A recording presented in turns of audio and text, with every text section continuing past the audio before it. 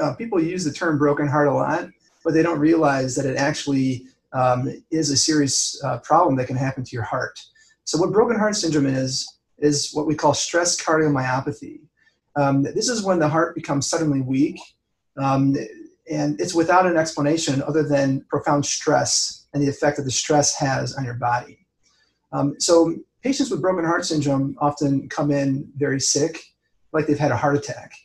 And that's what we do is we rule out a heart attack in these patients, and we find that the coronary artery don't have any blockages to explain a heart attack, then we take our investigation one step further and we say, well, hey, why does a patient look this way?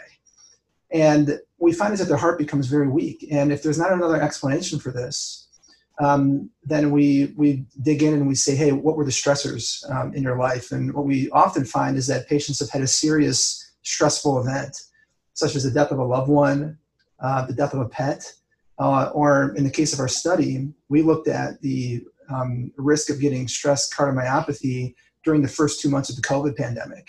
And we found that four to five times more people were coming in with this problem than prior to the COVID pandemic. So, um, so uh, this is, um, we think, an effect of the COVID pandemic uh, on our heart health due to the stress that it's causing. None of the patients in our study actually had COVID 19.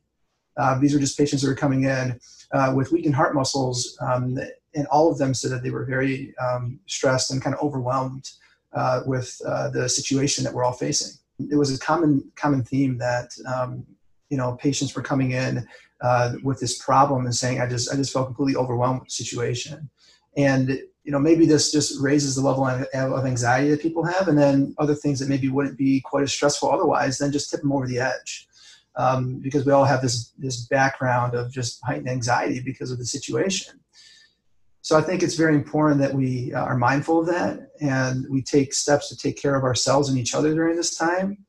Um, surround ourselves with with family and friends in a safe way, and um, don't ignore our symptoms. Because a lot of patients they will avoid hospitals during this time, and um, they will have true heart attacks, and they won't seek care when they need it, and that, that's another serious consequence of the COVID pandemic we found that although the rates of true heart attack were going down during this time, the rates of the stress cardiomyopathy or broken heart were going up. So people really were avoiding the hospital when they really needed it because those patients are still out there. They're just not seeking medical care, but the ones that are seeking medical care tend to be the ones with the broken heart syndrome. Um, so it, it all added up to about a four to five times increase in the incidence of broken heart syndrome during the first two months of the COVID pandemic.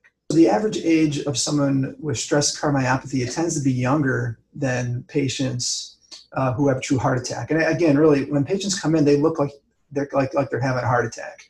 And until you rule it out, that's what you you know need to do is treat patients as if they're having a heart attack. Patients with heart attack tend to be older, tend to be elderly. Um, however, it can affect people in their 50s and 60s or even younger if they have a genetic um, uh, or uh, family history of this patients with stress cardiomyopathy uh, tend to be younger.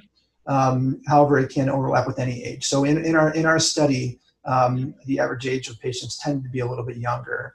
Um, you know, I personally treated patients in their 30s uh, with this problem. Um, however, I have also treated patients in their 70s and 80s and, and, older. Although this isn't a heart attack, it's still a serious problem. Uh, patients can come in with with severely weakened heart function. Oftentimes, this recovers pretty quickly, but sometimes it can persist for a while. We manage patients with medications, and oftentimes they have a complete recovery, um, but sometimes they are left with um, some residual uh, heart dysfunction or at least a predisposition to getting this again. But the good news is that most people do make a full recovery. Um, it's just important to uh, manage your stress and just be all the more aware of your symptoms and the triggers of what set this off. Uh, if there are certain uh, uh, circumstances that may have um, you know been present when this happened, you just want to try to avoid putting yourself in that situation again, or, or maybe seek um, some assistance from a mental health standpoint to make sure that your anxiety is controlled and that depression is treated. These are these are very serious problems. And um, you know, the big message here is that um, the the mind has a serious effect on the body, um, and you can have physical consequences of having um, extreme stress. It's very important to just manage that, to take care of yourselves, um, really to take care of each other during this time.